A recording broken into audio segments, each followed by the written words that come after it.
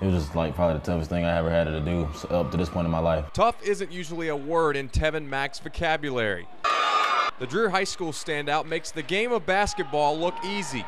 But when it came time to decide where he would spend the next four years on the court, it was far from it. My mind changed about going to like different schools every day.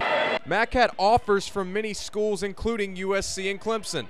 But after going back and forth, the senior decided to leave the state and play at VCU. It would be cool to play for your hometown team and just be the hometown hero, but I mean, that that's just not the path I chose to take, so I feel like I'll be fine.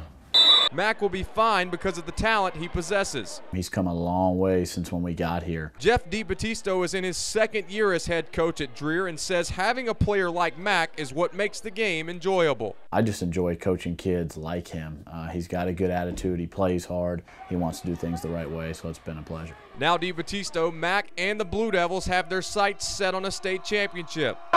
After losing in heartbreaking fashion last season in the quarterfinals, the senior leader has one thing on his mind. This year, definitely, I'm trying to win a state championship. That's the most important thing in my mind right now. Uh, that's one thing I haven't done since I've been in high school. And it's something Dreher hasn't done in over 30 years.